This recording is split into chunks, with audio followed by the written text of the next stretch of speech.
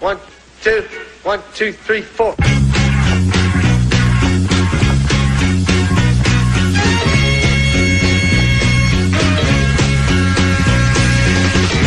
We're so glad to see so many of you lovely people here tonight. We would especially like to welcome all the representatives GCHQ Cheltenham. who have chosen to join us here in the Palace Hotel Ballroom at this time. We certainly hope you all enjoy the show. And remember, people, that no matter who you are and what you do to live, thrive, and survive, there's still some things that make us all the same. You, me, them,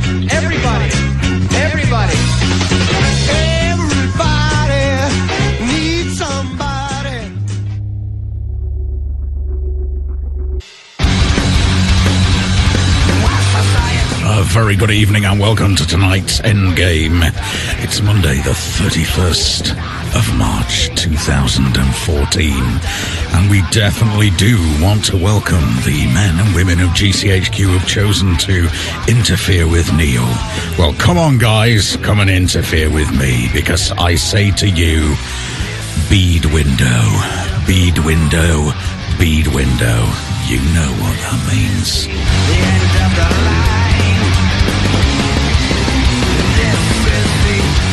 Know your game all too well.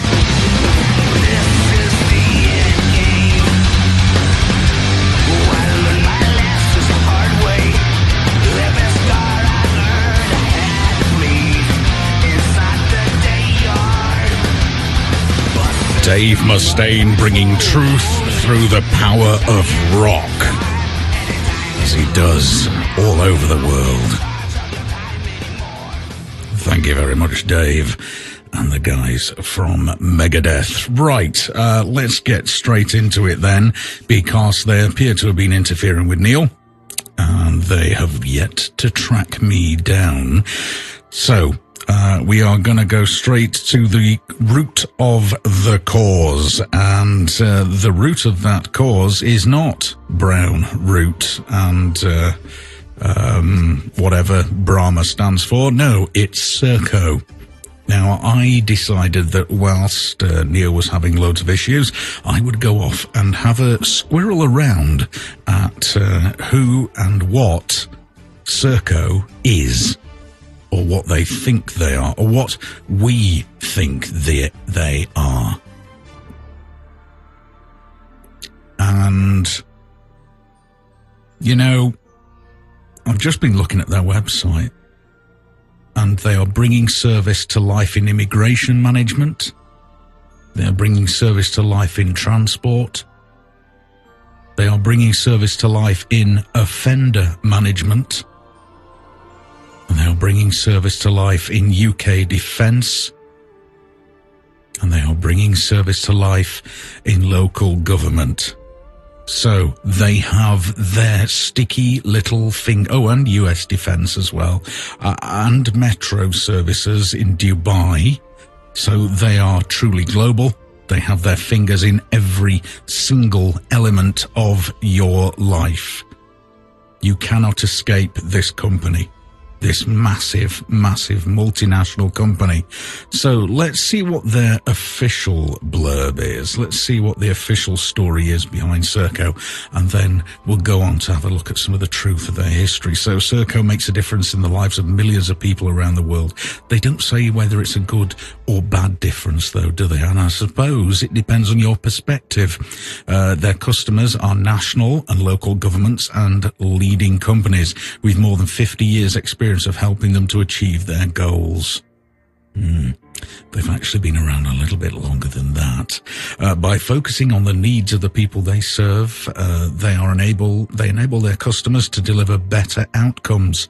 Uh, their frontline delivery involves them in vital areas of public life, including safe transport, finding sustainable jobs for the long-term unemployed. There's that key word again: sustainable. Neil was using it all the way through the past two hours. Um, and I've got to say, um, when those guests come on and they get the full time, as I'm sure will be coming up at some point in the future, they have got amazing, amazing information, which no doubt is why they had issues. Let me just check and make sure they're not interfering with me at all because I have a little uh, notification. Uh, no, no, we're all good. Excellent. Right. Uh, so they also manage crucial businesses. Uh, business processes for both public and private sector organizations. Uh, they help patients recover more quickly. They're improving the local environment, rehabilitating offenders, protecting borders, and supporting the armed forces. Oh, you would not believe just how deep this company goes down the rabbit hole. They go all the way to the bottom, into the main chamber, and beyond. The long term drivers of their markets include public service reform. I wonder if they're going at this with a common purpose. They're developing economies, investment in services and infrastructure They're developing economies then. Goodness me. no wonder we're in the toilet. They want a partner who gives them confidence through constant delivery. Yeah, of what? Uh, probably stuff that comes out the back end of a cow, uh, who can anticipate and adapt to change and who can understand what they want to achieve across their organization. They value our fresh thinking and collaborative and imaginative way we work. we also look for opportunities to leverage our scale to our customers' advantage, not to the public's advantage, obviously, not to you and me, not to our advantage, but to their customers, which, as they've already said, is local and national government and large corporations. Apparently, Serco is a values led company and their culture and ethos are at the heart of everything that they do. They give their people responsibility so they can put their ideas into practice and make a real difference. Their approach has made them one of the world's leading service companies, and their vision is to be the world's greatest. Their service ethos means that their customers come back to them again and again as long-term relationships help them to meet their changing needs and do what they do best and bring service to life. Starting to sound like an advertisement again, but I want to I want to start this little section off about uh, which apparently does mean service company. Um, I wanted to start it off by giving you the official line, giving you the party line so that's what it says uh, there about us on their website, which is, of course, serco.com. So you can go and see for yourself. So their markets then. Let's have a quick look at their markets because they seem, they're very, very proud of their markets. So at Serco, we design, deliver and manage change in markets as diverse as defense, transport, civil government, science and the private sector. Now, it's interesting that they uh, they separate the private sector from everything else because, as we know, everything is now in the private sector. The very fact that Serco are involved in our armed forces and our border patrols, uh, our border controls, and our prisons, etc., means that everything is in the private sector. There is no public service left.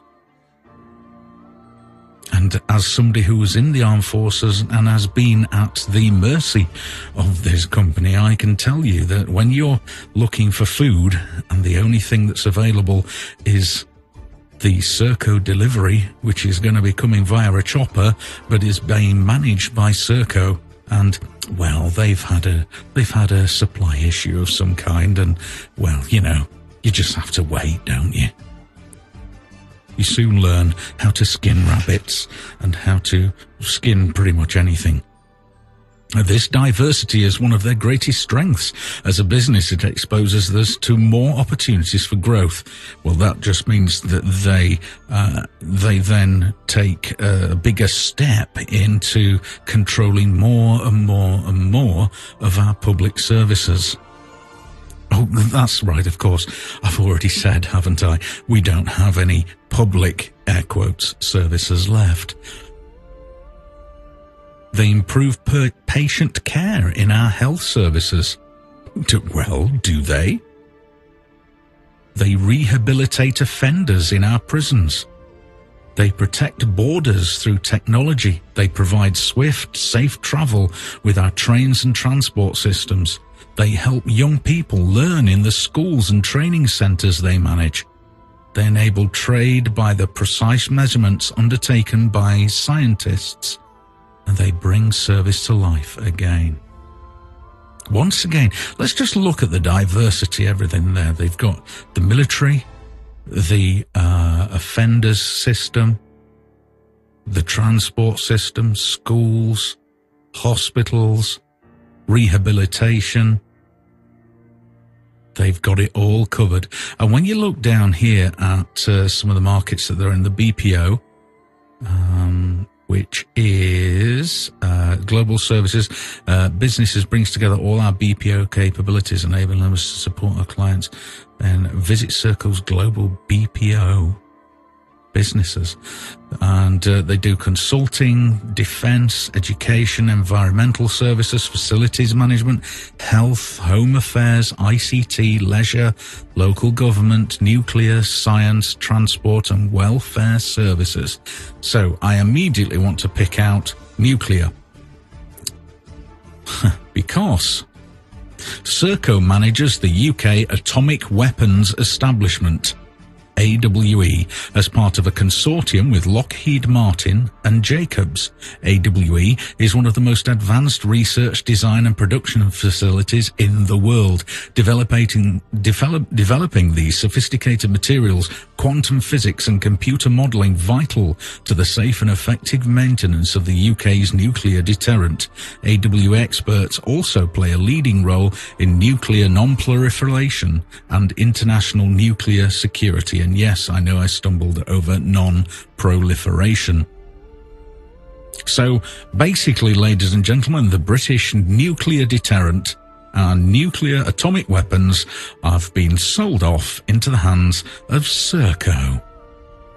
Because as one of Neil's guests managed to get in in the brief time that they were allowed to be on air, the four minute warning that we all had to get used to back in the 1980s and that we were all made very well aware of, that was going to be provided and supported by Serco.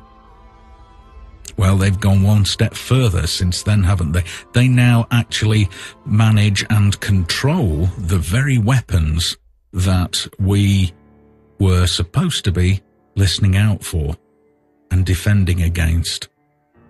I wonder which other countries they they manage the nuclear weapons for. I wonder which other governments and countries would be stupid enough, would be absolutely ignorantly, ridiculously stupid to hand over their nuclear weapons to a private company with this company's history.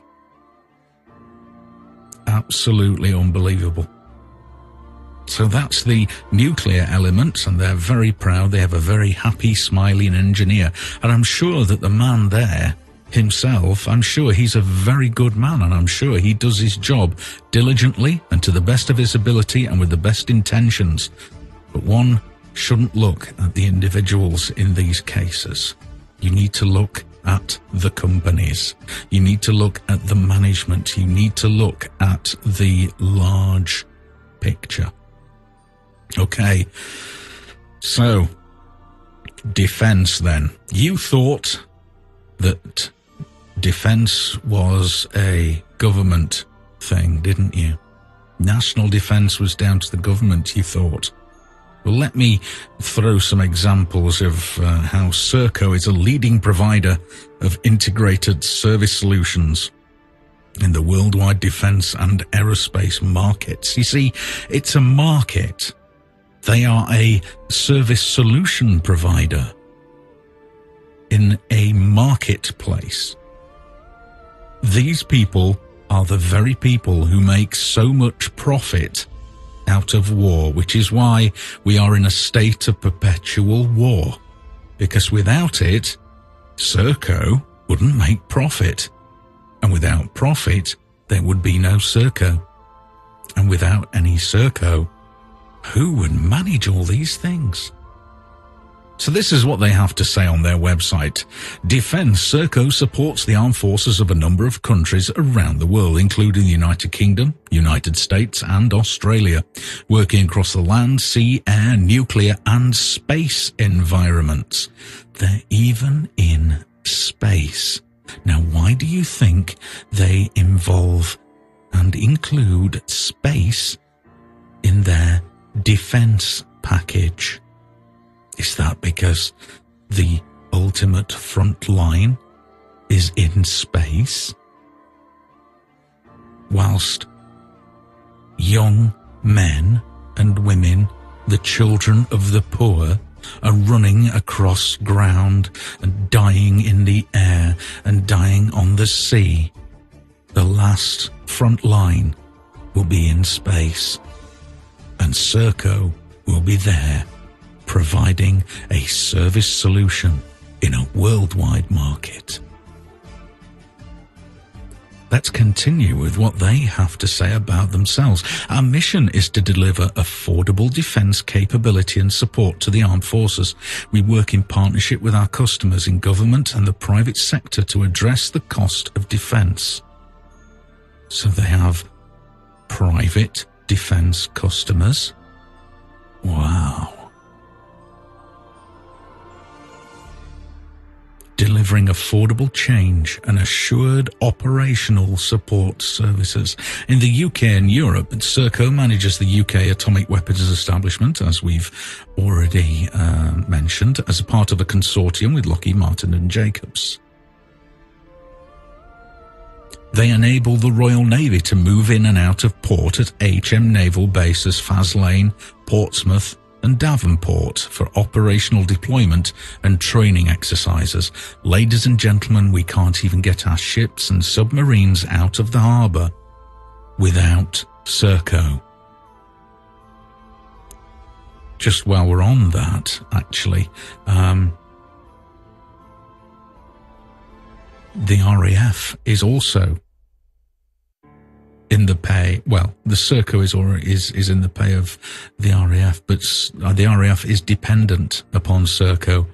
They project solutions. Their uh, Serco project solutions have pr- provided test systems to the RAF for 15 years. Europe's largest helicopter base at RNAS Culdrose.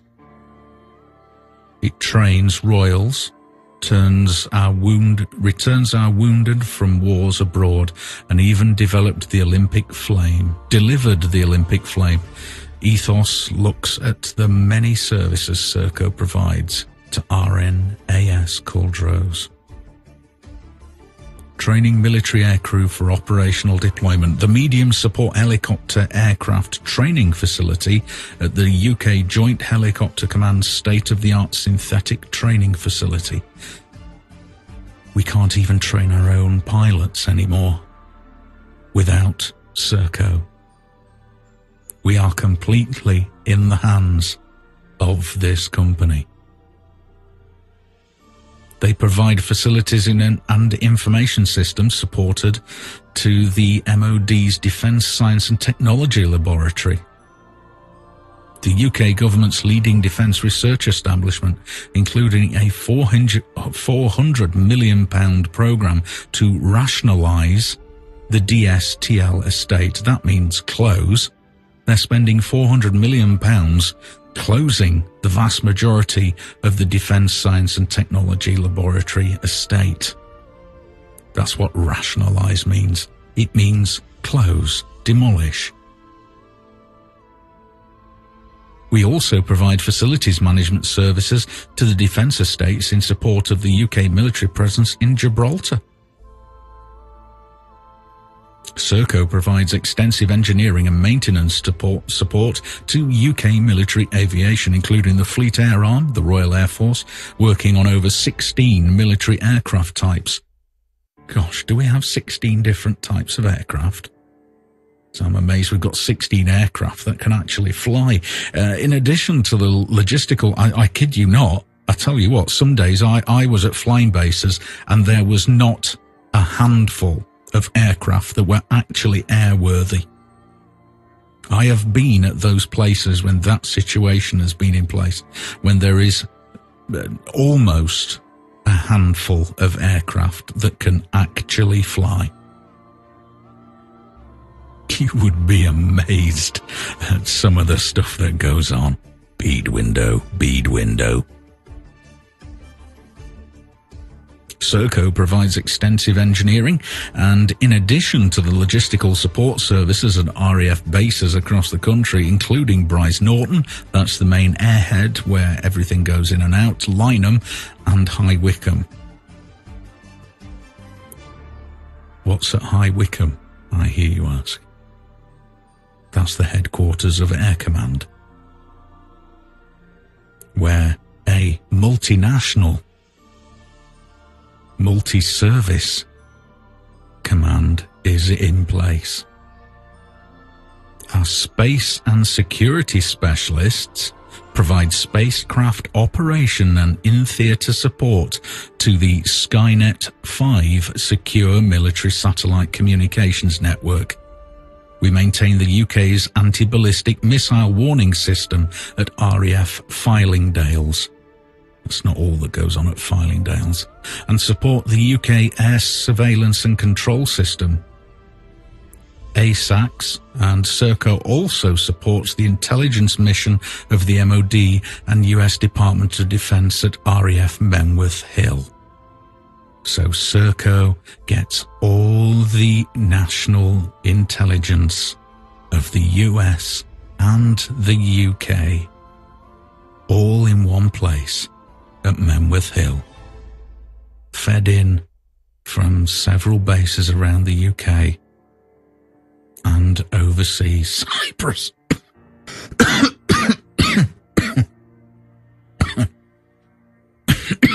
oh dear, got something separate caught in my throat.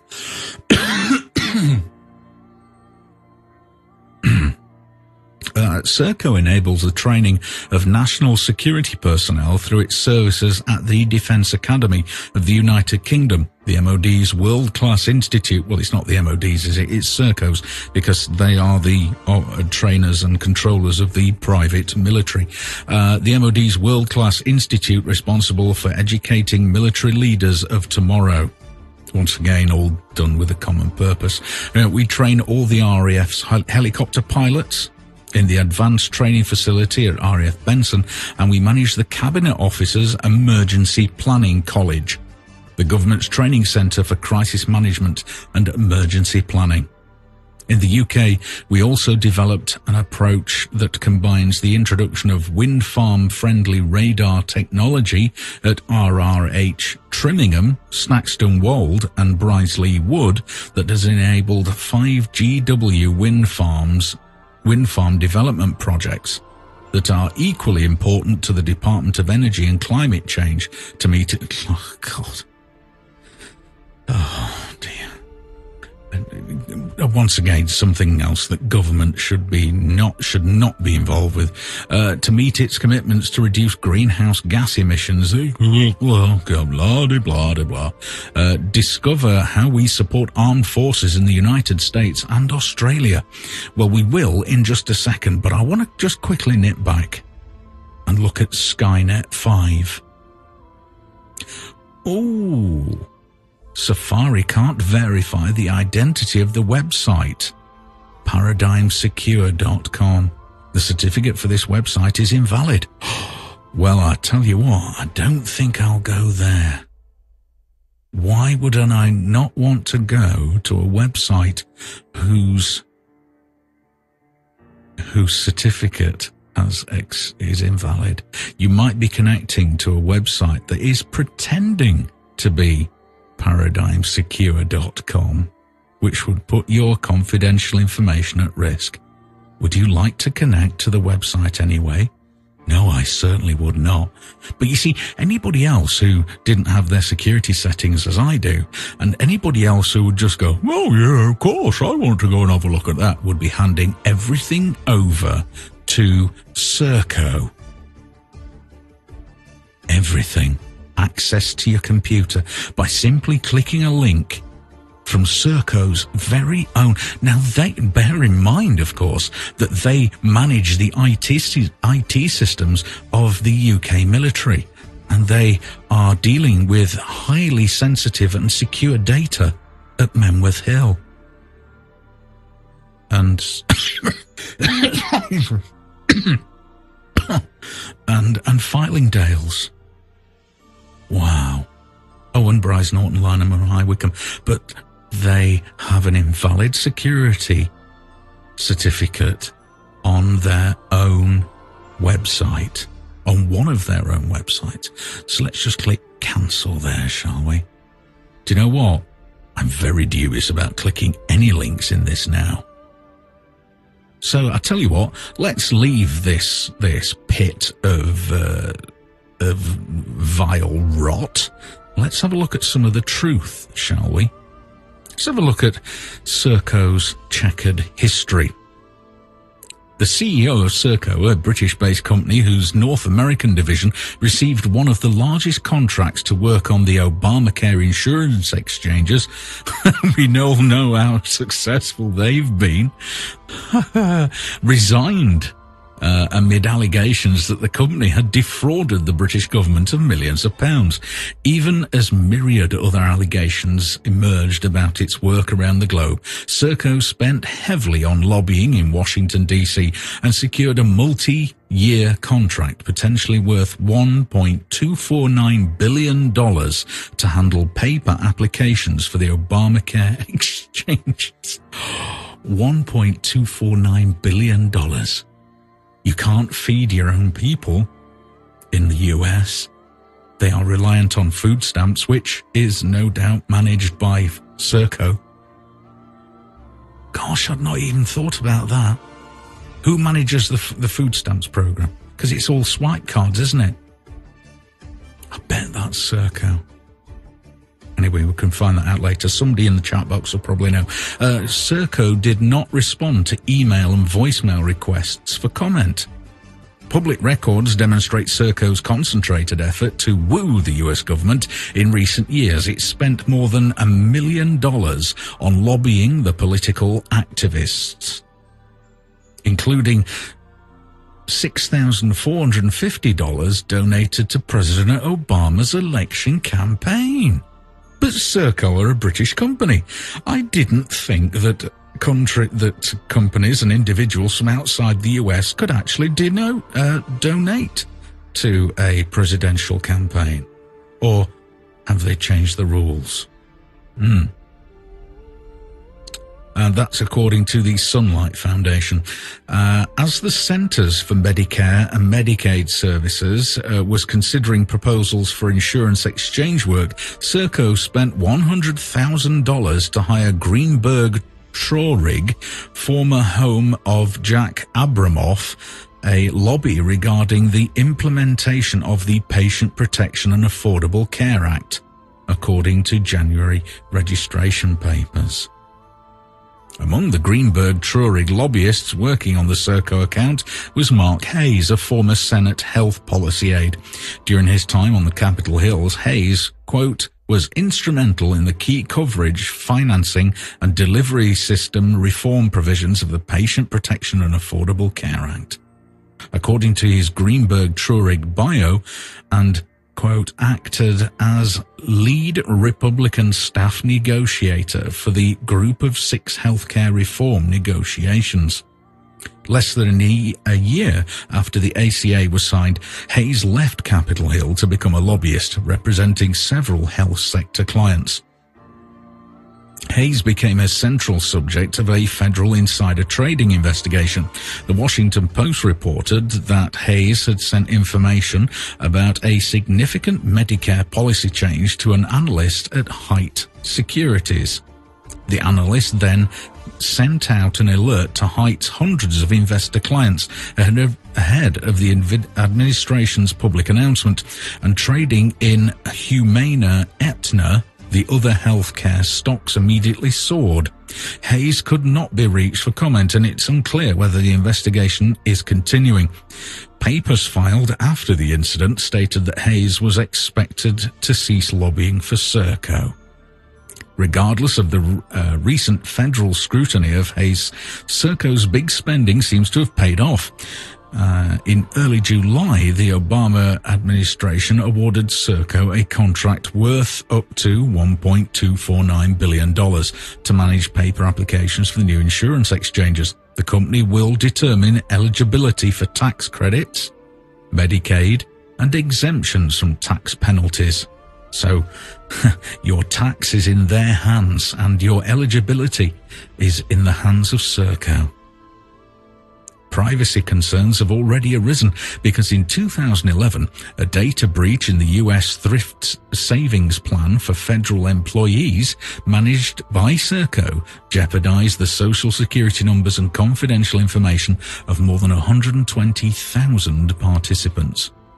Just weeks after the Obama administration announced Serco's contract award, news broke that Britain's Serious Fraud Office had opened an investigation into the, coopera- into the corporation, which had government contracts to electronically monitor criminals released from prison. An audit discovered that Serco and another company may have been overbilling the government by as much as $80.8 million as many as one in six criminals whose uh, sorry, I do apologize. As one as many as in six criminals whose monitoring had been paid for by the British government were reportedly either dead, back behind bars, no longer under supervision, or, or no longer live in the UK. Oh dear, and the British government just paid out for prisoners who were dead, in prison, free or released, not free, because we're not free, are but released, and weren't even in the country. Furthermore, although US com- companies that are part of a foreign company are obliged to report any billing uh, wrongdoings abroad, Serco did not give CMS such notice. Reuters reported that, uh, nevertheless, uh, Reuters reported that. Uh, nevertheless, the Obama administration defended its decision to award the $1.249 billion contract to Serco, claiming it was a, quote, highly skilled company. Yes, highly skilled in doing what? That's right, fraud. With, quote, a proven track record of providing cost effective services to numerous other federal agencies. cost effective, that's right, because they don't do what they're supposed to do, which makes them cost effective. Uh, shortly after that, more red flags went up. In August, the London police opened an investigation into Serco after allegations that it had falsified documents for other government contract for transporting defendants from confinement to court. Serco had repeatedly delivered prisoners late, and after it received a warning last summer, evidence emerged of potentially fraudulent behaviour, according to the UK Secretary of State for Justice. Shortly thereafter, Serco said it had identified misreporting among its employees. Even so, in late September, of course, they have to blame the employees. It's not the company's fault. It's not the company's fault. It's these individuals who need retraining or sacking. It's not the company's fault. Just as long as you bear that in mind, they were not at fault. Uh, even so, in late September, the US amended Serco's CMS contract, adding $87 million in value.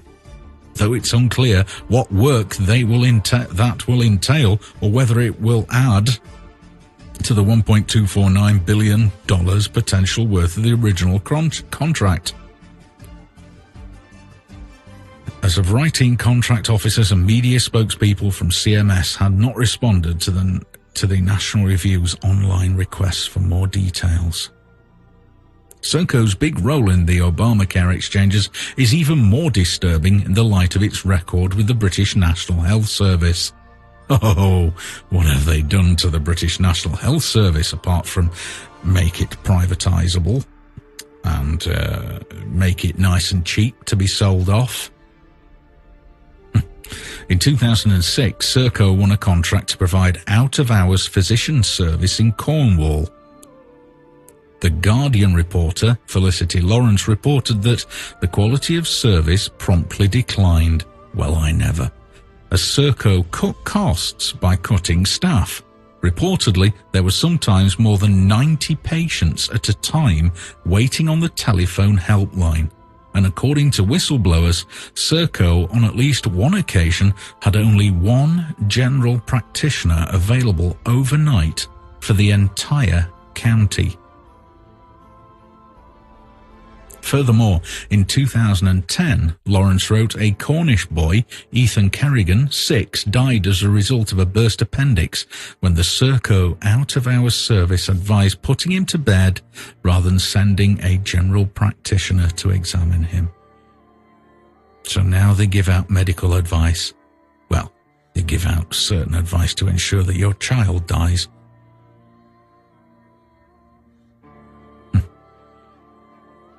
So it continues. The Care Quality Commission, which regulates British health services, soon found that Serco's managers routinely altered daily performance reports, which showed if the service was meeting its targets for responding to calls from patients on time and in March 2013, the National Audit Office reported that within a six-month period, Serco had on 252 occasions made, quote, unauthorized changes to performance data. In other words, they lied, they cheated, and they defrauded us. That it offered to the NHS about its operations in Cornwall. That was just in Cornwall. 252 occasions of unauthorized changes to performance data just in Cornwall. And Cornwall isn't huge.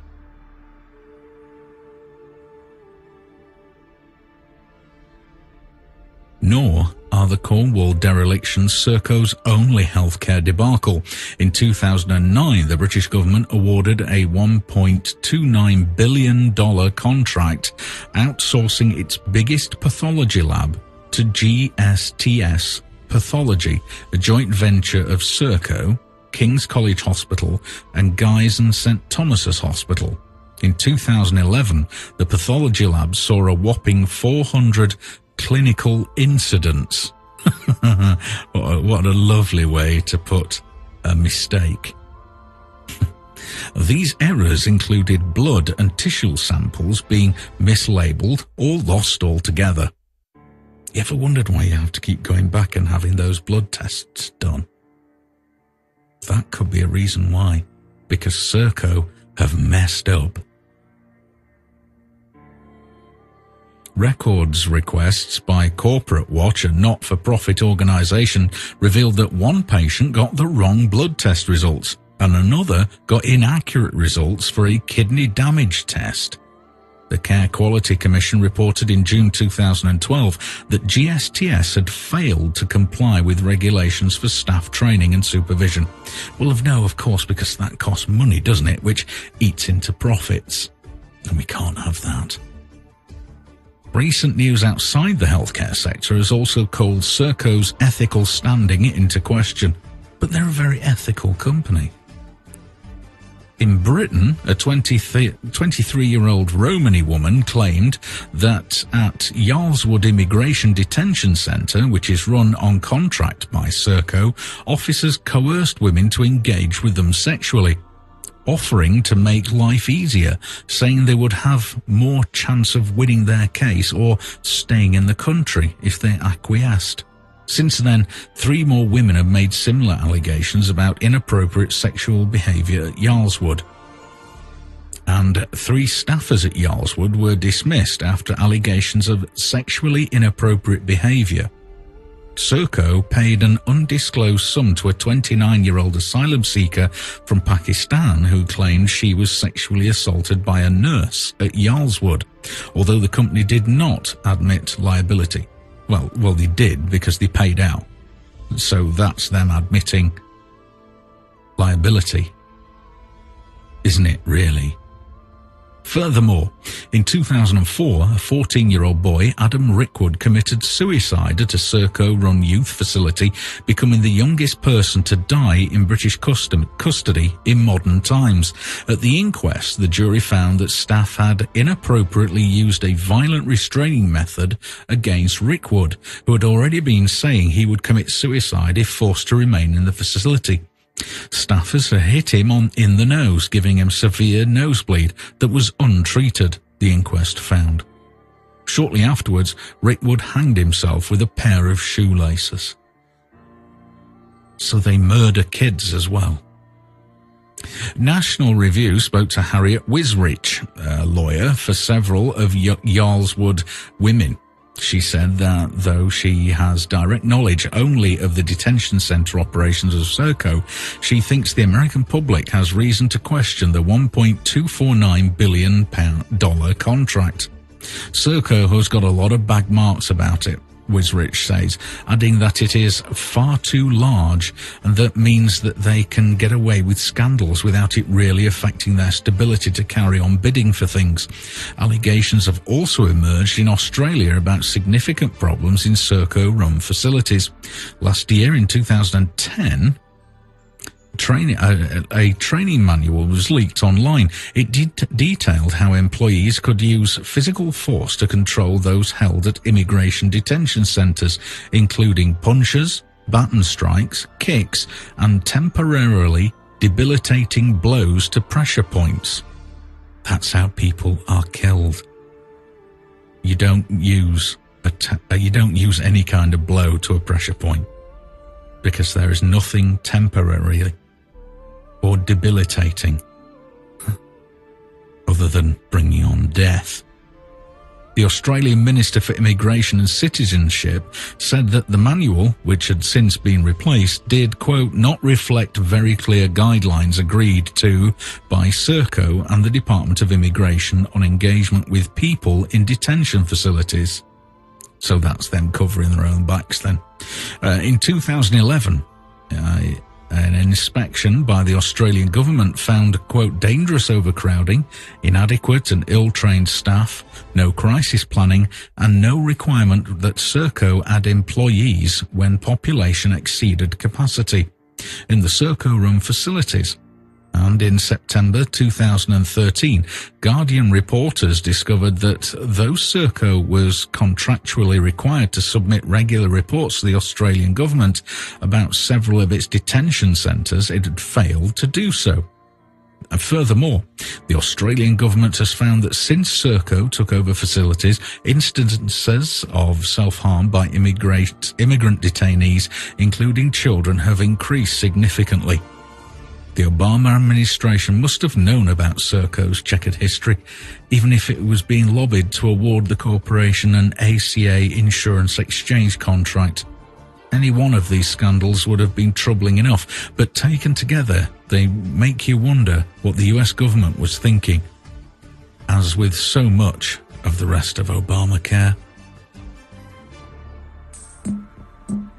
Uncle Phil Collins is not my uncle. He borrowed me dad's orbital sander once.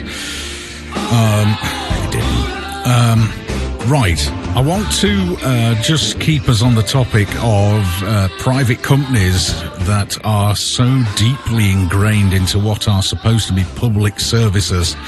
Um, by just relating a couple of stories that have been in the news recently and that are currently in the news. Now, uh, I've been speaking about Serco and uh, they have their justice services, of course. And uh, back in December 2013, I reported on this. Um, very, very early on in its uh, in it breaking, and uh, I was still reporting about it when a lot of people just hadn't heard about it, just knew nothing about it.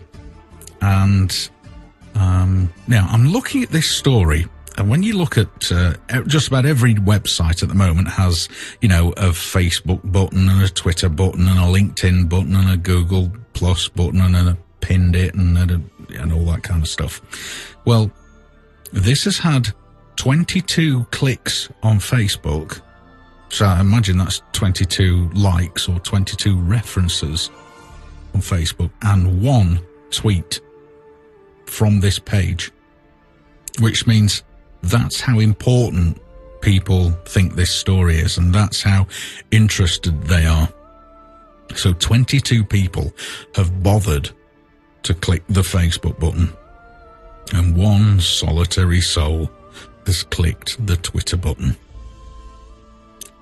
Well, it is International Business Times, but even so, this was written by Ewan Palmer, December 13th, 2013. And if you were listening to me back then, you will know that uh, I've reported on this and uh, I get quite vitriolic. But I think it's a, it's a, what we are going to see as typical of these private companies, which are allowed to make money from the suffering of others. A woman who miscarried in Peterborough jail forced to clean up own blood and fetus. The headline says it all. And the write up is very brief as well. This is how important they think that this story is.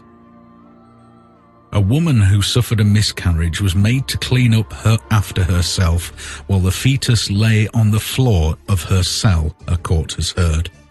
Nadine Wright, 37, claimed that a nurse was present when she lost her baby at HMP pre Peterborough, but she was told that she had to clean up her own blood and the fetus. Well, it, look, look, let's get this right. When it says fetus, it means baby. It means human being. Okay? We need to differentiate from the fact that oh, oh, fetus is is just something else. It's not real. It's not. That's that's the um, pro life. That's the um, pro uh, abortion people trying to disassociate it with anything which makes it human. Okay, you use the word fetus, and that that sort of stops it being human or something. The fact of the matter is, a human being died, and this woman had to give birth to it after it had died. The allegations emerged during a sentencing hearing for breaching earlier court orders and admitting shoplifting. Wright said she had stolen food out of desperation as she could not afford it. You see, once again, we have this situation where bits of paper, data's in, data figures in computers mean that somebody can or cannot feed themselves. Her barrister, Philip Gibbs, told Leicester Crown Court, quote, there was blood everywhere and she was made to clean it up. The baby was not removed from the cell. It was quite appalling. It was very traumatic. She only received healthcare three days later after the governor intervened. So, a woman miscarries in her prison cell. She's made to clean up herself, the cell, and the dead baby. And she doesn't get any health care of any kind for three days. The alleged incident occurred one day after Wright was taken into custody. And why was why was Nadine taken into custody? What heinous crime had she committed? What danger to society was she? Was she a threat to national security? Was she a threat to a politician? Was she a threat to our very fundamentalness of our society? It's so tongue tied. Gibbs told the court that Wright was convicted of stealing 13 pounds and 94 pence worth of food after she did not receive her welfare benefits. She'd suffered mental health issues and had battled heroin addiction since her teens, he added. £13 and 94 pence. That's how much you're worth. That's how much the life of a baby is worth. That's how much the life of a human being is worth in this society. Our so-called our so-called civilized society makes me sick. She steals £13 worth of 94 pence of food so that she can have something to eat. Because the state hadn't paid her welfare. But hey, Wright pleaded guilty to breaching two community orders and was jailed for 10 months. And the day after, her baby died in its cell and then she was made to clean up herself, the cell, and the dead human that was at her feet on the cold concrete floor of that cell, which is run by a private company. The authorities at the prison said the private prison said they did not comment on individual cases, but confirmed that a prisoner had received medical treatment on the day of her arrival in prison and was seen by a GP the following day. Well, they quite clearly lied. A spokesperson added, We have a duty of care to all prisoners. As part of that, we ensure that all prisoners have access to the same level of NHS services as those in the community. You are worthless to them. Alive. The only time you're worth anything is when you are a criminal for stealing £13 and 94 pence worth of food. Or you are dead. Or dying. In one of their so-called health service hospitals. Talking of which, charge patients £10 a month for using the NHS, a study suggests.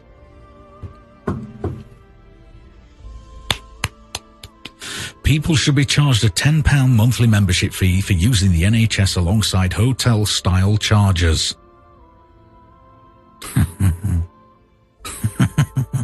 hotel style charges for hospital stays.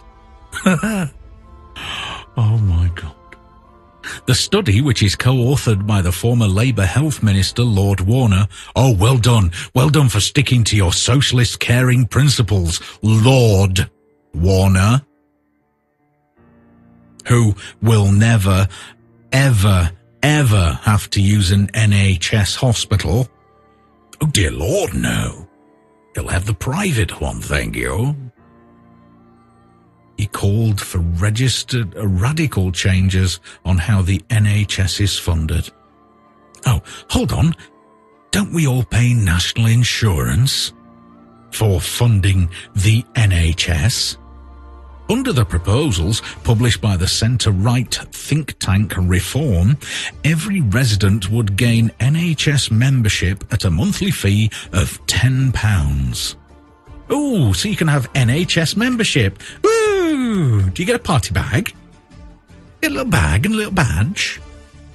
Little bag, little badge, maybe a poster of your favourite doctor. a bag, a badge, a poster of your favourite doctor. Those receiving free prescriptions would be exempt from the charges, the report added. Oh, that's nice. Because, hey, if you can't afford the seven or eight pounds that the prescription charge is, then, hey, well, you're going to afford the ten pounds. It argued that NHS funding from general taxation should only rise with inflation to avoid starving the rest of the public sector of resources. Oh, well, of course. We can't let other public sector areas be starved of resources because people get ill. Dear God, no. I do apologise, Rick and Annie. Deary me, no. Patients should also contribute co-payments for the hotel costs of some inpatient hospital care, the report said. By the end of the next parliament, it is possible to envisage these changes in entitlements yielding six billion pounds a year. Because hey, they've just got to get more money out of you. Lord Warner said, quote, We can no longer pay homage to an out-of-date and unaffordable NHS that's unfit for today's and tomorrow's care needs. A Department of Health spokesman said, quote, the founding principles of the NHS make it universally free at point of use, and we are clear that it will continue to be so. Almost. Can I tell you that if you have a road accident in this country and uh, an ambulance comes and picks you up and takes you to the emergency room and then you, you stay in hospital, you know what you receive shortly afterwards? A bill because under the Road Traffic Act, you are liable for the cost of your recovery and care. I say care, and I use that term very loosely but yes, if you are uh, uh, injured in a road accident and uh, you have the misfortune to be put in the back of an ambulance and taken to one of these slaughterhouses, I mean hospitals, um, you will be charged for the privilege. You will receive a bill to your home address, which you will, of course, be expected to pay promptly and duly and with great, great, great humbleness. Almost half of the politicians who don't have to use the NHS because they can afford private care believe the NHS may no longer remain free at the point of need if the cha- challenges it faces are not tackled, a poll has found. I wonder who did this poll, and I wonder who they polled because nobody came and asked me. Health leaders have previously warned that the NHS will only survive if there are radical changes in the delivery of healthcare. The poll of 100 MPs, oh there we go, conducted by the NHS Confederation, there we go, found 48% agreed that a free NHS would be unsustainable if some of its problems were not tackled. Well, why don't you? Why don't you 48%? Why don't you 48? Take a cut in your in your uh, millionaire building status and hand some of that over so that the less fortunate can have some health care. You vile pigs! All 650 of you. You vile, evil pigs! That is the most I'm going to allow myself to say about this topic on this radio station.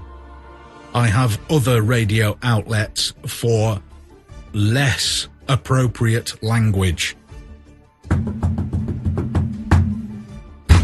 They make me sick. Genuinely, genuinely make me sick. This is why I'm a libertarian. This is why I say small government, leave me alone, and I'll leave you alone. Believe what you want to believe, and I will believe what I want to believe, and you leave me alone, and I'll leave you alone.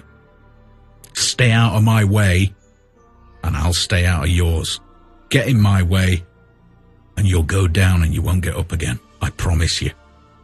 And when the jackbooted Stasi come banging on my door in the in the wee small hours of the night, I'm ready for them. Absolutely 100% ready for them. Because remember, I used to be one of them. I know how they work. I know what they do. I know their tactics. I know them inside out. Bead window, bead window. Come for me. And many of you won't believing the way you arrived. That's all I'm going to say about that. Let's move on to a different topic. I think it's possibly best because we here in the UK have the pleasure of being part of the European Union. Now, the other day I upset quite a few listeners and I am still apologizing for playing some backmasking and uh, playing some examples of backmasking to show how vile and evil it is, but yet um, I upset quite a few people, and I'm probably going to. Uh, this is probably going to have the same effect. Uh, the EU and Brussels. you see, because there are many things about the European fascist state that uh, lots of people don't know, and I'm talking to the left wingers who say that we have to be in Europe to um, to gain from it, to gain so much from it in health and safety regulations and. Uh, I was going to say financial security, but we know that's a load of tosh, don't we? Um, but what are the Nazi roots of the Brussels EU? So let's have a look at what you always wanted to know about the Brussels EU, but no one dared to tell you.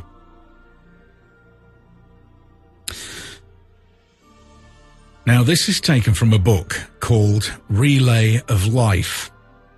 And it's a book that you can read online. You can buy it if you want. You can buy a hard copy, or you can read it PDF style or online for free.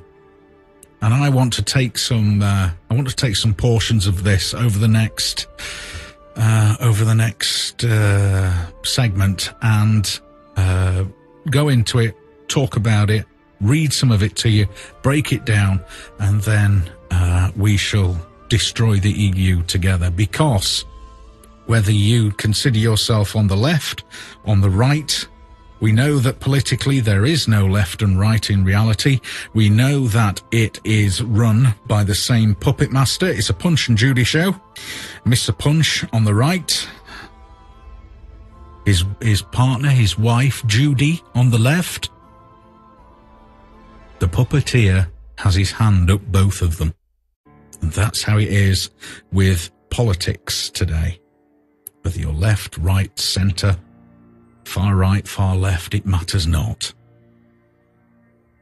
But the book, The Relay of Life, uh, tells the story that many readers may, for obvious reasons, initially reject. In doing so, they may say that if the far reaching historical information documented were true, they would surely have heard about it before. I hope you have. And I know that the, that the vast majority of people listening to this broadcast or podcast at some point in the future or routinely listen to Awake Radio will know a lot of truth that the average doesn't get. Mindful of this, the authors consider it their responsibility to encourage their readers not only to read this book, but also to visit and study the source documents noted in the book. There's something I always say to you as well. Don't believe a word I say, but take the information and go and find out for yourself and go and make up your own mind. But take the, a nug, even if it's just a tiny nugget of information I give you Take it, go with it, research it, and you'll find that unfortunately I'm right. For almost three quarters of a century, the world has been told that World War II was caused by a psychopath, Adolf Hitler, and his entourage of racist hooligans, the Nazis. The facts are, however, that World War II was a conquest war conducted on behalf of the chemical, oil and drug cartel with the goal of controlling the multi-trillion dollar global markets in the newly emerging fields of patented chemical products.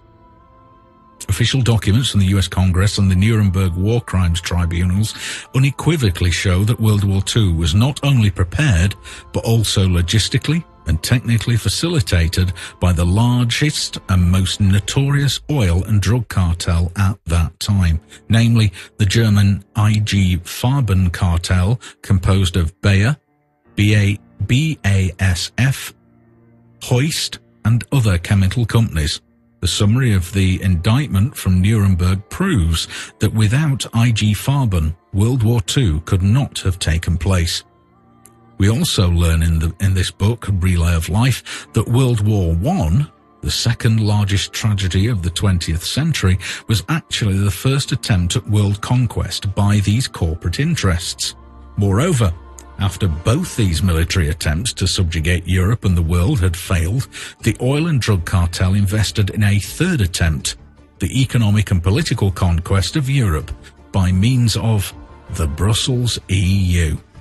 Not surprisingly, therefore, the key architects for the Brussels EU were recruited from among those technocrats who had already designed the plans for a post-World War II Europe under the control of the Nazi cartel coalition. This book, The Relay of Life, will introduce you to these stakeholders of the cartel, dressed not in military uniforms, but in grey suits, and the most notorious of whom was Walter Hallstein, the first president of the so-called EU Commission. The answer to the question as to why you have probably not heard from these ground-shaking facts before is straightforward. After 1945, the cartel invested hundreds of billions of dollars with one goal only, to rewrite history and cover its criminal past. This cover-up with regard to the corporate origins of two world wars was obviously the precondition for the cartel's third attempt, this time via the Brussels EU at the conquest and control of Europe. Evidently, the cartel interests had hoped to cement their control over Europe via the Brussels EU, without these dark roots ever being exposed. However, this plan has failed. The publication of this book and the tens of thousands of authentic documents it references mean that the Brussels EU experiment is over. No democratic person, organisation or party can possibly now support this third attempt at the conquest of Europe. The relay of life is also a unique opportunity for all those politicians and political parties who've been lured into supporting the Brussels EU without knowing its background or understand its true purpose. This includes the 27 heads of state who've signed the Lisbon Treaty, the majority of whom did not understand that their signatures constituted an enabling act for the cartel and its stakeholders to seize control over Europe these politicians and political parties now have the chance to make a complete turnaround and to publicly revoke their support for a model of Europe that has been built upon decades of lies and deception. We therefore encourage you to help disseminate this important information among your family, friends, work colleagues, and in your community. Moreover, we encourage you to confront your political representatives at the local, regional, national, and European level with the information contained in the book. In doing so, you must urge these politicians to make a choice. Either they can close their eyes to the truth and thereby recklessly support the takeover of Europe by dictatorship of corporate interests, or they can act to protect democracy and the health of life interests of millions of people. The choice these politicians make with regard to their position on the Brussels EU will be the most important decision of their political careers. After the last attempt of the cartel to control Europe had failed in 1945, one of the most widely used excuses by its political stakeholders was that they didn't know. After the publication of this book, however, no politician today can make such a claim in defence of his or her continued support for the Brussels EU. From the historic perspective, what is most urgently needed now is a movement of the people. This is particularly important because politicians in many countries across Europe have become influenced by the corporate interests of the oil and drug cartel. Thus, they are no longer independent defenders of the interests of the people. A movement of the people will therefore be the only guarantor of freedom, democracy and independence for the people of both Britain and Europe. Now, such a movement did get going, didn't it? And it was called UKIP. But they have been vilified and infiltrated to such an extent that they are so right wing that um, Hitler won't be disappointed of them would be uh, disappointed not to be a member. However, how does democracy turn into a dictatorship? The Brussels EU is portraying itself to the world as a shiny example of the 21st century democracy. In reality, however, nothing could be further from the truth. In a true democracy, all power resides with the people. The principle of separation of powers between the three levels of government, executive, legislative and judicial, establishes checks and balances to protect against abuse. This principle is being universally accepted after mankind fought for it for thousands of years. So, what you have is the people who vote for the executive, president, government, and the legislative, parliament. Those are the checks and balances. However, in contrast, the Brussels EU lacks its fundament, lacks this fundamental principle of separation of powers. Moreover, the people of Europe have neither control over the executive level nor over the legislative process. Worse, the parliament they elect has no means of effectively controlling these branches either. To hide this impotence, Article 225, the so-called fig leaf article, was inter- inserted into the Lisbon Treaty. This clause offers a possibility for the EU Parliament to request the Commission to submit a proposal for legislation. The Commission, of course, can simply refuse to do so. Operating outside the basic principles of democracy, the Brussels EU, by definition, is a dictatorship.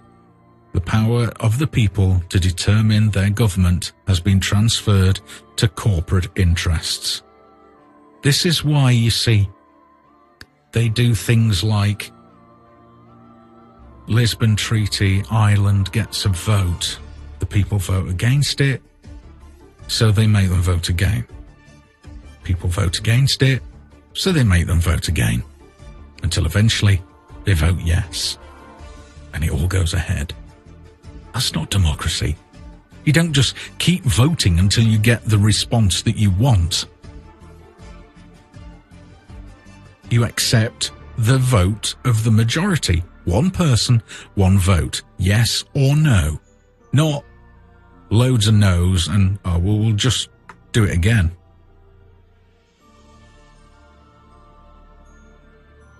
Let's just do it again until such time as they vote the way we want them to.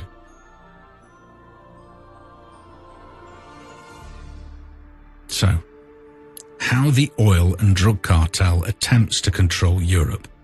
The Brussels EU portrays itself to the world as a parliamentary democracy with the EU Parliament playing the decisive role.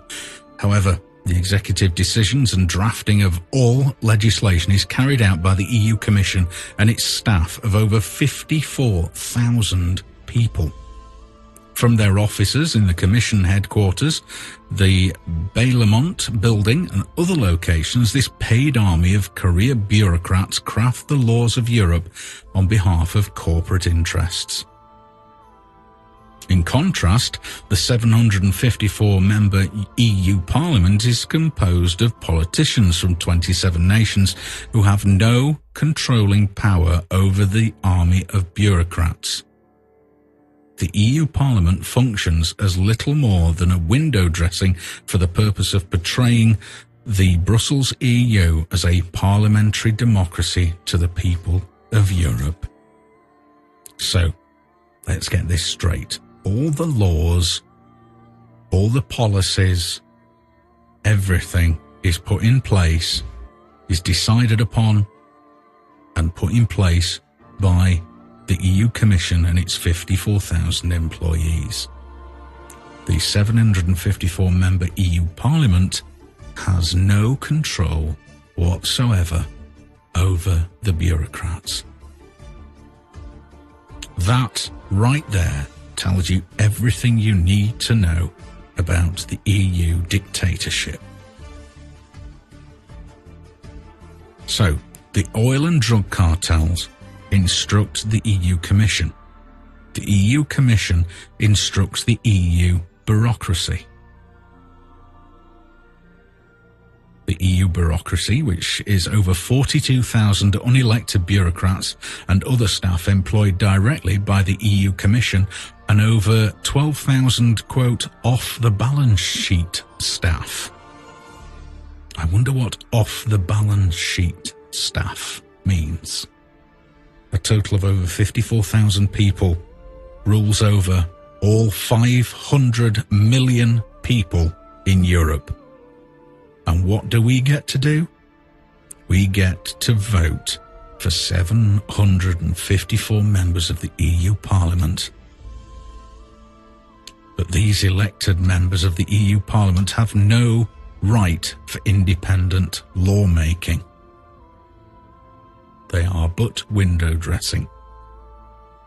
So when Farage and his crew are shouting about how they're going to bring down Europe from within, or get Britain out of Europe, Britain can't leave the EU unless all the other members of the EU vote and agree to let it go.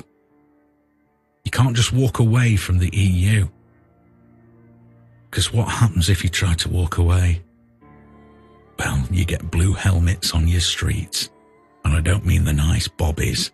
They will seem like pussycats compared to the UN troops with their blue helmets that would be on the streets of Britain if it ever tried to leave the EU dictatorship. The stakeholders of the oil and drug cartel, well, I never. You're going to hear some very familiar names if you are a listener to Awake Radio. Here we go then.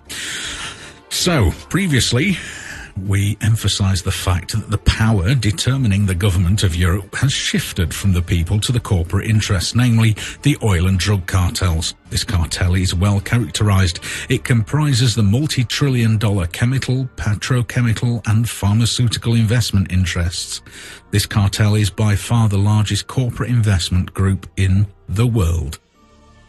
During the 20th century, this cartel has become not only the dominant economic force, but also has positioned its political stakeholders in the governments of the leading industrial nations of the world. Leading representatives from the financial circles controlling this cartel are top of the list, always top of the damned list. The Rockefeller Group. Representing the US based oil and drug interests, this is the largest, largest and most uh, of these. I'd say I'm getting tongue tied because it's just so. Representing the US based oil and drug interests, this is the largest of these financial interest groups. I think I think fine entrail is probably about right actually for the Rockefeller Group. Built from the 19th century monopoly of the Standard Oil Corporation, it now controls dozens of chemical, pharmaceutical and oil multinationals around the globe. One of its most prominent ambassadors in recent decades has been Henry Kissinger. There's that name again. Germany and France, the leading export nations of chemical and pharmaceutical products in Europe. This group had its roots in the late 19th century and comprised Bayer, BASF, Hoist, and later their infamous IG Farben cartel. Their modern day successor companies are the leading investment businesses in Europe today and have been instrumental in building up the Brussels EU. It was widely covered in the media at the time, just days before his appointment. Current EU President Rompuy was invited for his presidential job interview by the Bilderberg Group, an elite circle of US European corporate interests under the control of David Rockefeller and chaired by the ex EU Commissioner and drug lobbyist Etienne Davignon. So, Angela Merkel, then, Germany, the world's leading exporter of chemicals, one of the leading drug exporters. Nicolas Sarkozy of France, this is at the time of writing, bear in mind that uh, one of the leading drug exporters and one of the world's leading oil traders. And that vile, evil, leather faced pig that is David Rockefeller, and I would say it to his face given the chance. So the Rockefeller Group is the world's largest investment group. Its core investments in chemicals, oil and drugs. The Bilderberg Group, financial and political stakeholders of those chemical, oil and drug cartels, including Henry Kissinger, former secretary of the Rockefeller Brothers Fund, Etienne Davignon, former EU commissioner and board member of the drug maker Gilead. November 19th, 2009, EU President Rompuy poses for the cameras with one of the men who brought him to power, Nicolas Sarkozy. The people of Europe had no vote and no say. None whatsoever. Totally unelected, yet in control of the dictatorship. So, ending democracy and returning to medieval times for the disbelieving reader, it may be helpful at this point to summarise the selection process of the first president and foreign minister of the Brussels EU. The people of Europe were excluded from the decision making. The new royals of Europe were selected by an elite circle of corporate interests. The selection ceremony took place in a lavish aristocratic setting in the palace at the Valley of the Duchess on the outskirts of Brussels. French President Sarkozy Nicolas Paul Stephanie, Stefan Sarkozy, Di Nagi, Dinagi Boxer. Gosh, that's a name and a half, isn't it? No wonder he just calls himself Nicholas Sarkozy. But of course, that hides the Stefan D. Nagy Boxer. I hope I've said that right. The offspring of the petite aristocrat was the master of ceremonies. The Queen's crown was bestowed upon Baroness Catherine Ashton. The King's crown went to another person whose name reflects aristocratic descent, Herman van Rompuy. Van Rompuy will act as an interim monarch until such time as, possibly triggered by an international crisis, the petite aristocrat himself assumes the throne. In fact, the EU system of governments reverses all democratic achievements of European civilization over the past thousand years and throws the entire continent back to medieval times when aristocratic monarchs ruled Europe outside of any democratic control. And you think today that you are living in a democracy. I'm afraid you have no idea and you're not anywhere near. So, did the people of Europe give up centuries of democracy voluntarily? Well, from the oil and drug cartel, the Brussels EU is merely an operative base from where it intends to conquer the world using political, economic, and if necessary, military force. Because don't forget, they are combining all of the Europe military forces together into one controlling force. Towards this end, the cartel is currently trying to export the undemocratic construction of the Brussels EU to other regions of the world. The African Union is already being modelled after the Brussels EU, including an AU Commission. The political stakeholders of the cartel are deceptively parading the Brussels EU as a modern, as a model of 21st century democracy and peace. From the sheer scope of this global PR campaign, the people of the world may have the impression that the Brussels EU was approved in a democratic election by the people of Europe and that this political body reflects their will. But nothing could be further from the truth. And there'll be more in just a couple of minutes. Bad Company by Five Finger Death Punch. The Bad Company song written by uh, written by a Bad Company. Uh, right, let's get back to the EU then, because uh, this is vital info I'm passing on here. And I love passing on vital info. And the thing is, it can all be backed up with their own documents. That's the joy of it. You're just using their own bile, their own vile uh, vomit against them. And I love it when I can use their own vomit against them. So, the actual facts cast a characteristic light of the fundamentally undemocratic nature of the Brussels EU. a warning sign to the world, wherever you are in the world, listening to the sound of my voice. First of all, if you can hear the sound of my voice, then you are the resistance. Stuff you, Alex Jones, I can say it as well. I can bring peace and truth to the world, doing it by talking to you, giving you the info, the tools to go and fight the good fight.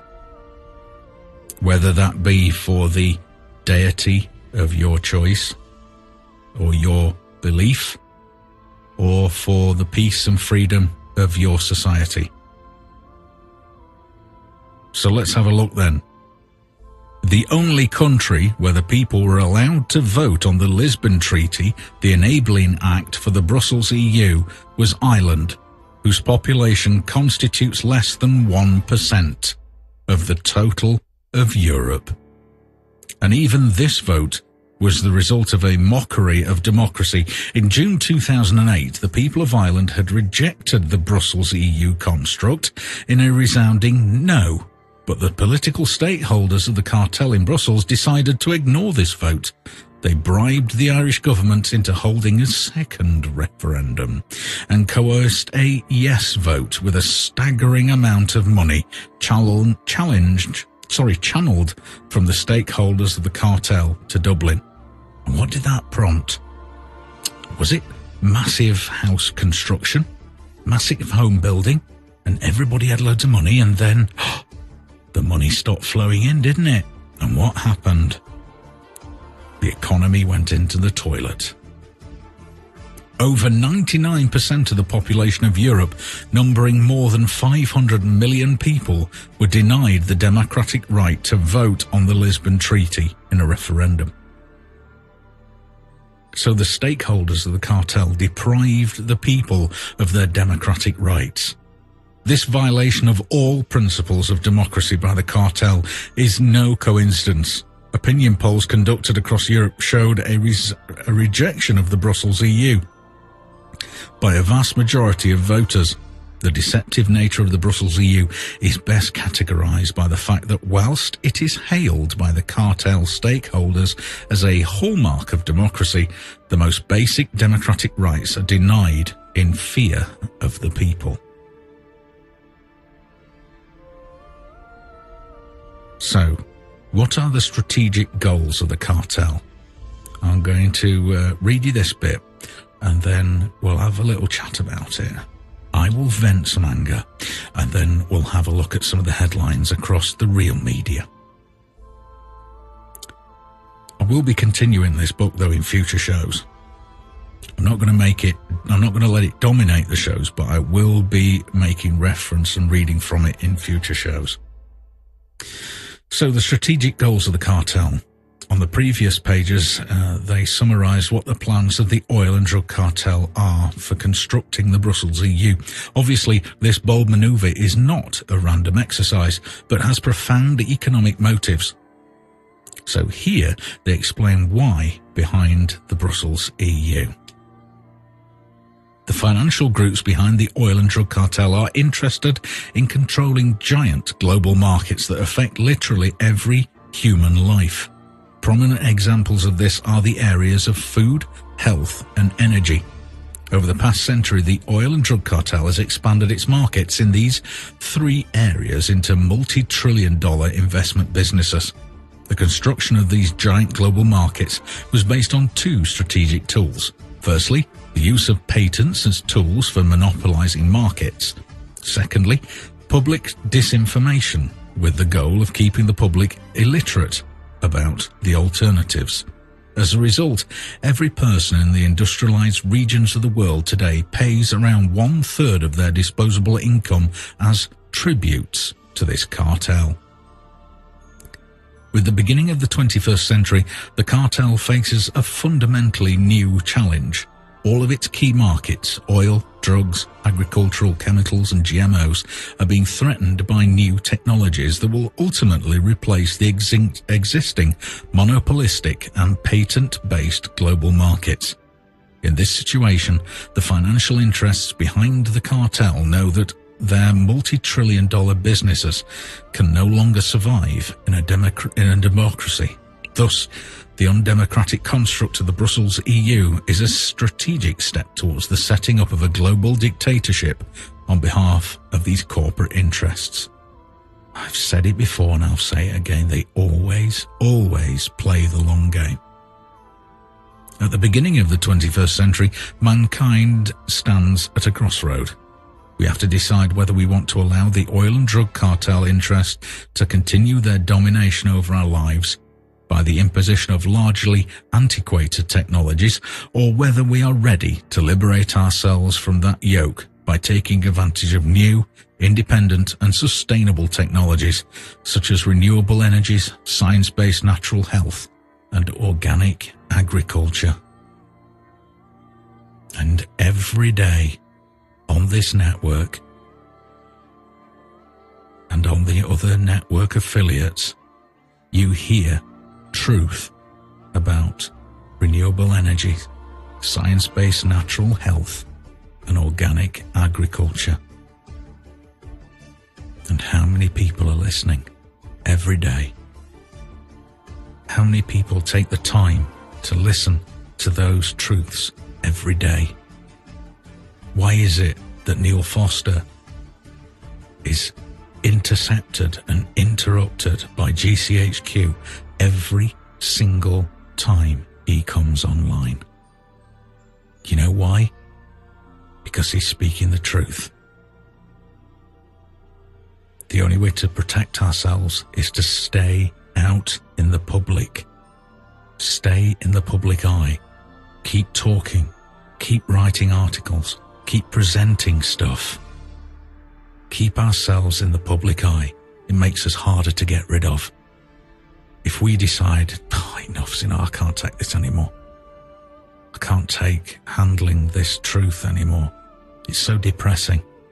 You know, when you say that, then they've won. Because you back out you become invisible. And what happens then? Well, you have an accident or you get really, really ill. And you disappear. And you become not even a statistic.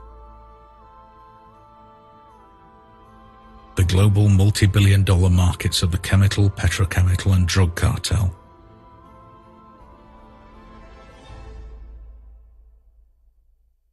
let's just summarize that the strategic goals of the cartel are to turn the lives and bodies of billions of inhabitants of our planet into a marketplace for their patented products. I'm a victim of that. I've spoken to you many times about the pharmaceuticals that I have been taking for years that I have become dependent on, not addicted to but dependent on for now.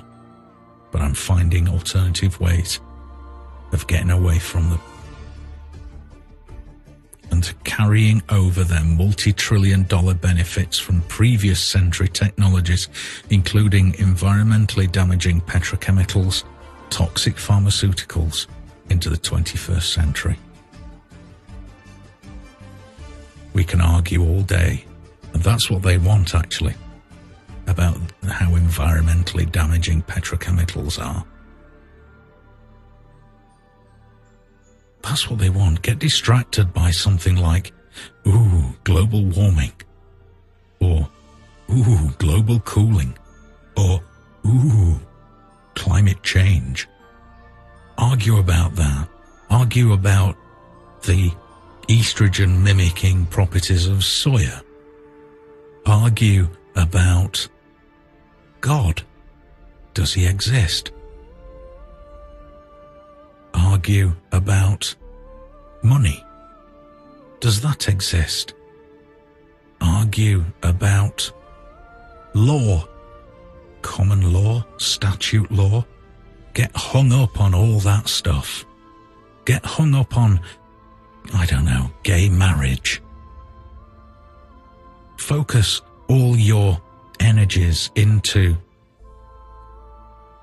the left wing of politics, or the right wing of politics. Should people have guns or should they not? Racism, sexism, ageism, abortion rights or wrongs, incarceration limits, death penalties.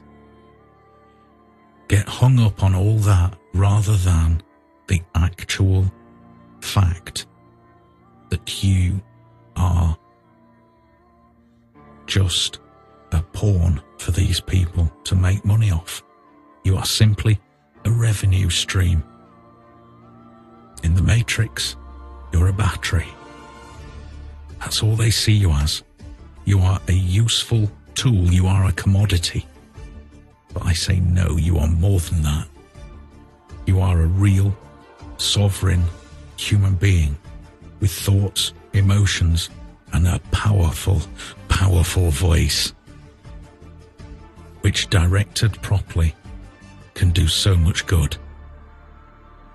You could bring absolute peace to this world. You could bring absolute end to hunger, starvation, poverty, abuse, violence, crime could all be ended. Everybody could live in the way that they want, in peace with everybody else. But it takes everybody. It takes the 6.9 billion of us to all stand up and say to that tiny, tiny minority, to say to David Rockefeller, no, no more. I will not allow you to do this to me or to anybody else. I will not allow this dictatorship to happen. I say no. But everybody has to say no. Because one can be scrush, squashed like a bug. But all of us together cannot be stopped. We are far too powerful, and they know that and they're scared. I'm going to continue with more from The Relay of Life, the book about the real Brussels EU. Going to be continuing that in future shows. But for now, just in the last 10 minutes of the show, I want to go through some of the headlines of the real media, the real press. Well, let's start with my favourite, and yours, I hope. the Community Press Group, the latest articles.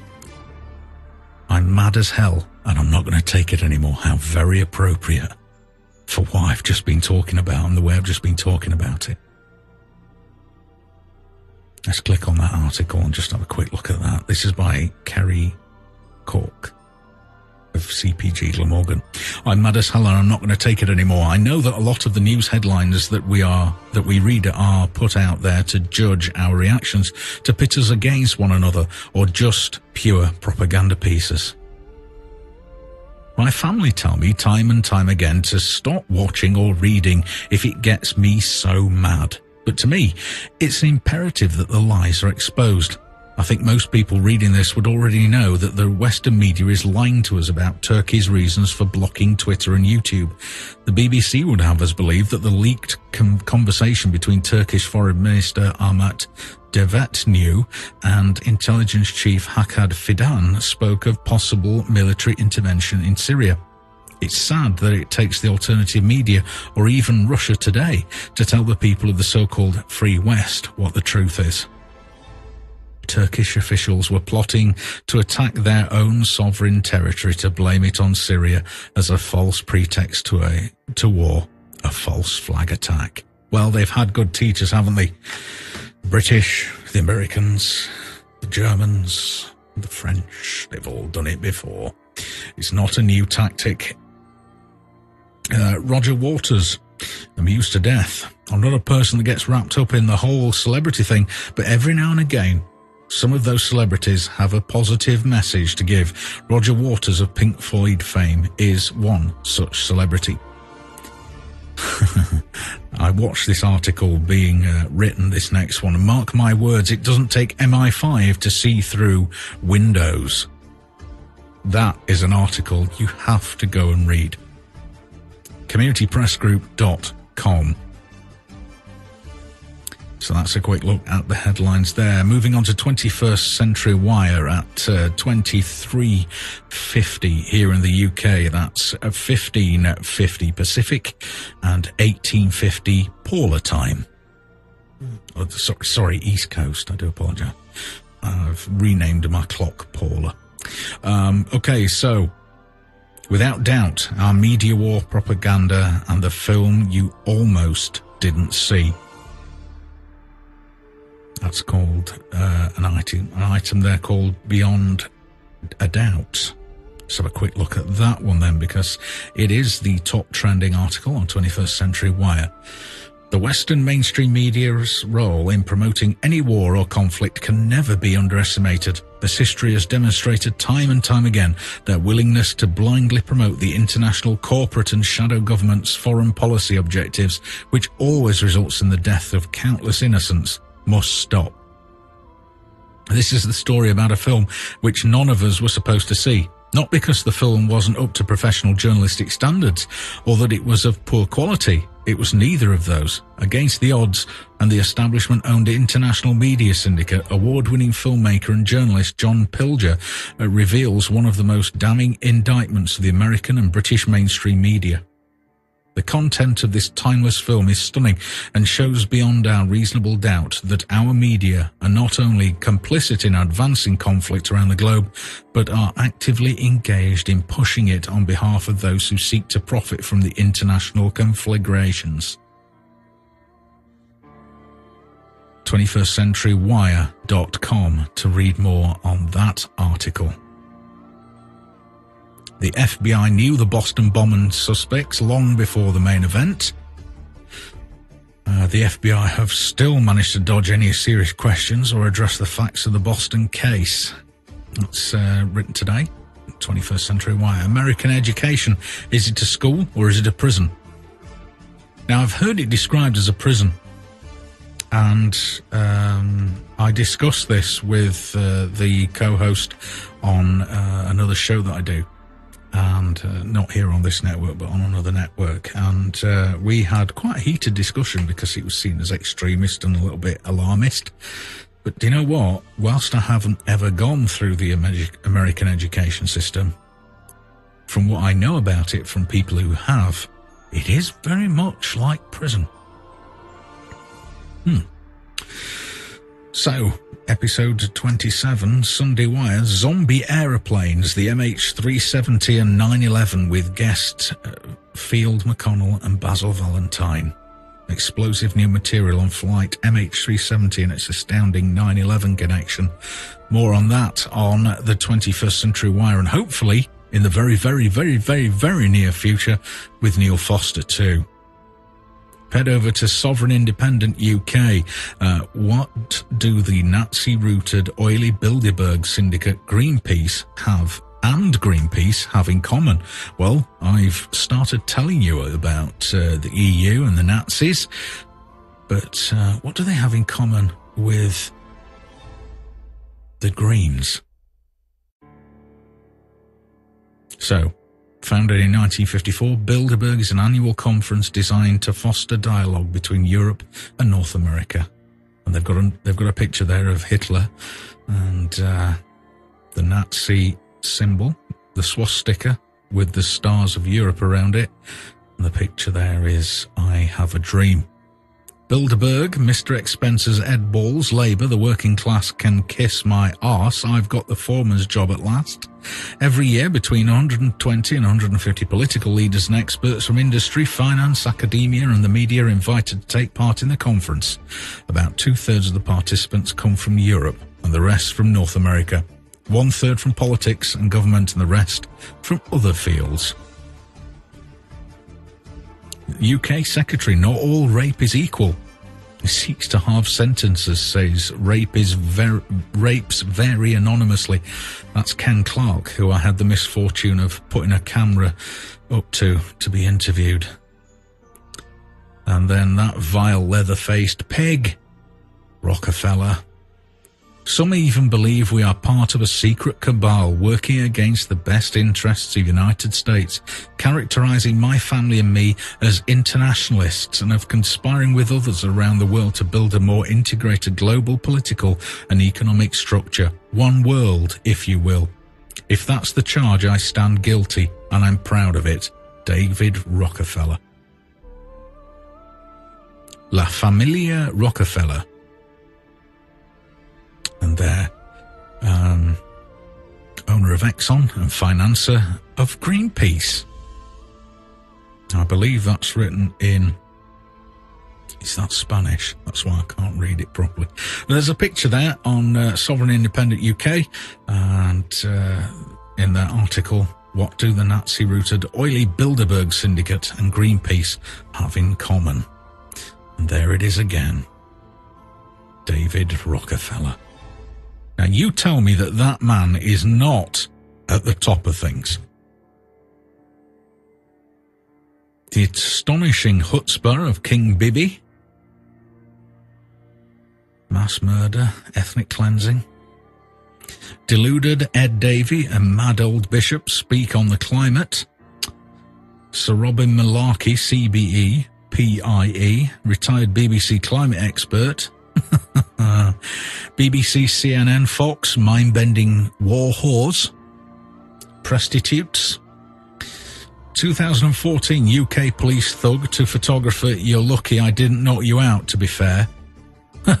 John Ball, clearly the constable in the video uh, included in this article, in a highly stressed state of mind. See, when I joined the police force back in the very early 90s, um, I joined with very altruistic intentions to help my community do something positive.